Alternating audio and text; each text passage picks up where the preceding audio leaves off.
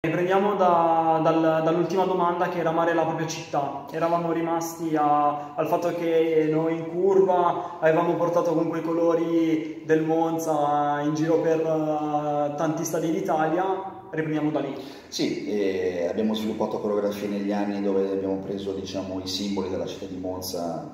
eh, con coreografie fantastiche, per quelle che sono ovviamente le nostre possibilità e non ultimo, ad esempio, quella fatta con Vicenza, dove abbiamo messo il simbolo della, della luna rossa imperiale sopra il sole papale, che molti non riuscivano neanche a capire che cos'era, in realtà è il simbolo storico della città di Monza. Quindi abbiamo sempre avuto una forte ascendente su quello che è il territorio e non a caso anche in tempi passati abbiamo sempre preferito quando anche le presentazioni della squadra venivano fatte in centro città proprio per riportare al centro, al cuore della città il calcio Monza. Certo, e una domanda invece sul ritiro del Monza, abbiamo visto che mh, ieri il triangolare non è andato come sperato, nel senso che non ci sono state vittorie per 5-0, ma anzi il Monza ha perso la prima partita e la seconda invece ha perso i rigori. Ti preoccupa questa cosa oppure secondo te è una fase normale in quanto la preparazione è iniziata adesso? Bah, in realtà non mi preoccupa per nulla perché il calcio d'agosto, come spesso accade, non ha mai dato delle indicazioni vere certo. e come hai detto giustamente tu, conta molto la tipologia di preparazione, se fa una preparazione molto pesante sicuramente si è molto più imballati e di solito una squadra che vuole vincere, vuole arrivare fino in fondo fa una preparazione un po' più pesante, mentre le squadre che devono salvarsi di solito fa una preparazione più leggera per partire subito forte e incanalare un po' di punti. Era un po' la nostra eh, strategia al tempo con Sonzoni, in realtà partire leggeri per mettere in fine il cascino più possibile, poi avevamo un calo verso novembre, dicembre, gennaio per poi riprendere un po' la... Quindi non mi preoccupa assolutamente, io credo che sarà, sarà, faremo un anno da protagonisti e me lo auguro come tutti i tifosi del Monza e me lo auguro soprattutto per i ragazzi in curva che hanno fatto sempre tanti sacrifici, non ultimo quello di, andare anche in ritiro, a parte che quello è anche un piacere,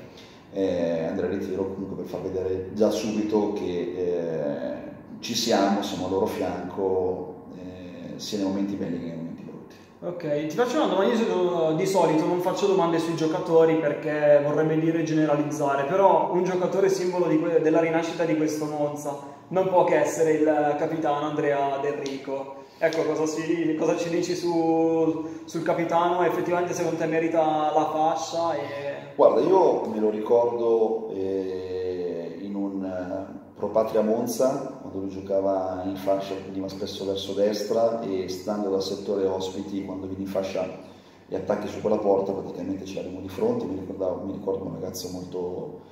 eh, fastidioso nel modo di giocare. Poi è arrivato a Monza, fortunatamente l'anno dopo, e, e, da lì una prima stagione sicuramente un po', un po', complicata, perché comunque è stata una stagione un po' complicata, la prima di Colombo, e come tutte le prime stagioni, quindi poi ci sono dei corsi storici, non necessariamente si, si ottiene quello che si vuole, ma poi si, si mettono le basi per costruire qualcosa di importante. Io sono molto contento che Andrea sia rimasto l'anno scorso dove doveva andare via, sono contento che sia rimasto anche quest'anno. E è un ragazzo che vale molto perché è un ragazzo umile che è sempre disponibile con tutti i tifosi, un ragazzo di cuore, spero che non si monti la testa ma sono convinto che non lo farà. Spero e mi auguro che rimanga sempre al centro di questo progetto bianco-rosso perché se è vero che il calcio è anche romanticismo è vero che ci vogliono anche le bandiere. E, e un Andrea Del Rico che parte dalla Serie D e col Monza scala le eh, categorie, sicuramente è una storia molto bella da raccontare anche ai nipoti. Ci mancherebbe. E un'ultima domanda invece prima dei saluti. Eh, tante volte ci sono delle critiche per quanto riguarda il mercato, soprattutto quello che riguarda l'ascesa di giocatori dalla Serie A in una categoria come la Serie C io per esempio tante volte mi sono dimostrato abbastanza scettico su questa cosa qui perché ho visto poi come sono andate alcune squadre come il Lecce che ha perso la finale playoff a Carpi o il Lecce comunque l'anno dopo quando con Miccoli e Moscardelli non riuscì ad arrivare effettivamente eh, in Serie B e poi arrivare in Serie A. E questo perché comunque la Serie C molto spesso si tende a sottovalutarla e, quando in realtà è una categoria molto più difficile, forse addirittura più difficile della Serie B stessa. Allora, io credo che ogni categoria abbia le sue difficoltà e i suoi tranelli. E mm, quindi quando si fa la scelta di eh, scendere dalla Serie A o dalla Serie B in Serie C, bisogna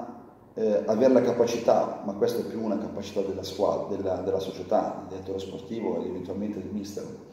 di scegliere quei giocatori che umanamente e caratterialmente siano in grado di calarsi nella categoria, perché come hai detto giustamente tu, non vuol dire necessariamente che un giocatore che di categoria possa fare la differenza, anzi spesso viene tra, eh, risucchiato in un imbuto, molti vengono anche a rubare semplicemente soldi in una società dove si sa che comunque i soldi non mancano e tantomeno non si rischia di rimanere senza stipendio come invece accade da altre parti, quindi mm, non è necessariamente un problema di, eh, di, situazione in senso lato, è un problema proprio di, di giocatori. Quindi ci sono giocatori che vale la pena prendere, ci sono giocatori che invece è meglio lasciare dove sono perché sono semplicemente un problema, perché quei giocatori rischiano, cioè sono i giocatori più difficili da scegliere perché rischiano anche di spaccare lo spogliatoio. Sono quei giocatori che magari hanno una certa personalità, arrivano, iniziano a mettere in discussione le scelte del mister, iniziano a creare dei gruppetti e se non si calano pienamente nel progetto societario rischiano di essere eh, deleteri invece che positivi. Ok.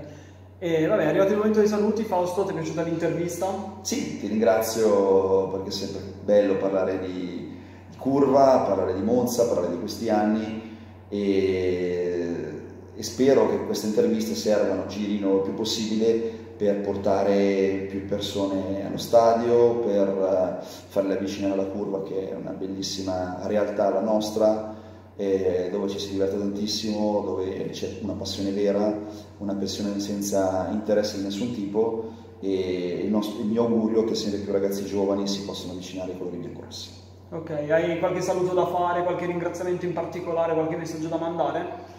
Gli unici messaggi che io mando sempre, ringraziamenti, sono a tutti i ragazzi che in questi anni con me hanno mantenuto vivo eh, il vecchio ricordo del calcio Monza l'hanno portato in giro ovunque e hanno fatto in modo che questo interesse sia sempre andato oltre quello che potesse essere la categoria perché eh, solo così facendo tu riesci a tenere un filo conduttore tra quello che è stato il Monza negli anni 70 e quel Monza che può, eh, può diventare eh, ai giorni d'oggi sperando di arrivare anche molto più in alto ovviamente quindi i ringraziamenti vanno a tutti quei ragazzi che mi hanno seguito in curva e che con me hanno fatto tantissimi chilometri in giro per l'Italia. E l'augurio, eh, il messaggio, eh, abbiamo delle stagioni magnifiche davanti, venite con noi, non ve ne pentirete, ci divertiremo tantissimo. Ok, ti ringrazio Fausto Marchetti per l'intervista. Grazie. Grazie a te. Ciao ragazzi, forza Monza sempre.